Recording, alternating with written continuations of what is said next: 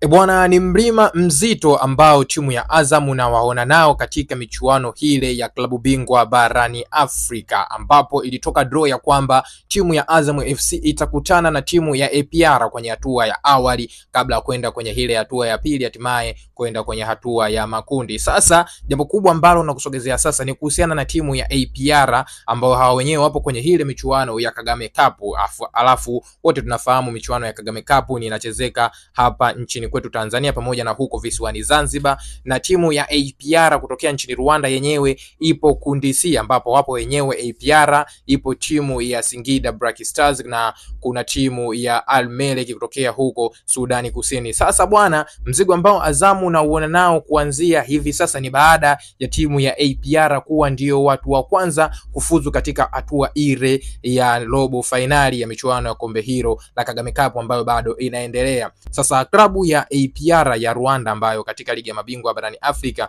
watakutana katika hatua ya awali na timu ya Azam FC. Yenyewe imekuwa timu ya kwanza kufika katika hatua ya nusu fainali ya mashindano ya Kagame Cup na baada ya kutoa sare ya goli moja moja dhidi ya ACC Vira ya huko nchini Rwanda. Kwa matokeo hayo, kundi C ambayo APR anakuwa na pointi saba na kutinga katika hatua ya fainali ikifuatiwa na timu ya ACC Vira yenyewe ikiwa na alama tano. Hizi ndio timu mbili ambazo zimeweza kutinga kwenye ile hatua ya robo fainali ya michuano hii ya Kagame Cup. Na katika kundi hilo tunamwona Singida Black Stars ambayo mwenyewe amekuja kuzinduka dakika za jioni baada ya siku ya leo kuweza kumpiga Hadmere Kibentu ya huko Sudani Kusini kwa kichapo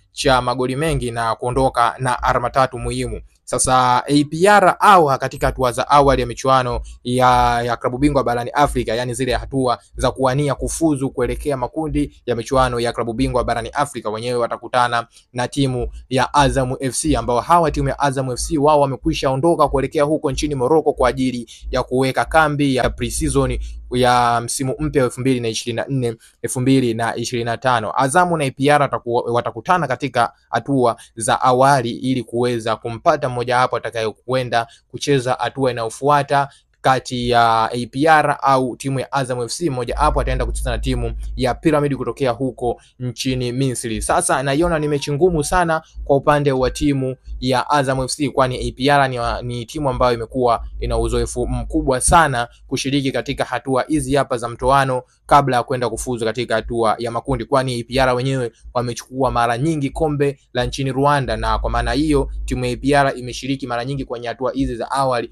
kuliko timu ya Azam FC, na hapa tunaweza kutarajia mechi dume kabisa kati ya hizi timu mbili, yani timu ya APR pamoja na timu ya Azam FC. Na hapa atakayepatikana hapa ataenda kukutana na mpinzani mgumu mwingine kutokea kwenye viunga ama kutokea kule nchini Misri, ambaye ni timu ya Pyramid, na baada ya hapo atakayepatikana mshindi ndiyo atakaweza kufanikiwa kufuzu katika hatua ya makundi ya michuano ya klabu bingwa barani Afrika. Sasa ni nini maoni yako kuhusiana na timu hii ya Azam FC? Je, unaiona kuna uwezekano wowote wa kuweza kumfunga APR ambaye amekuwa na kiwango bora sana katika michuano ya Kagame Cup katika msimu huu hapa wa elfu mbili na ishirini na nne? Dondosha komenti yako chini ya video hii na sisi tutapita nayo, lakini usisahau kulike, kushare na kubonyeza maneno yaliyoandikwa subscribe.